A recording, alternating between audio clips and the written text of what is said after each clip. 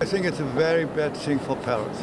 But I don't understand why she was in a hotel with no security and things like this.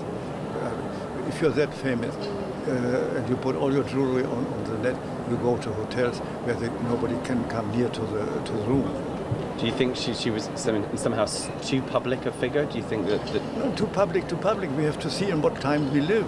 You cannot display your wealth and then be surprised that some people want to share it. Well, as a as a friend of hers, I feel very like horrified, and and even if I wasn't her friend, I'd be horrified. It's disgusting and and hor- it's horrific and terrifying. And um, I don't know what went on with security. I can't say, and I really can't speak to it. But it was terrible.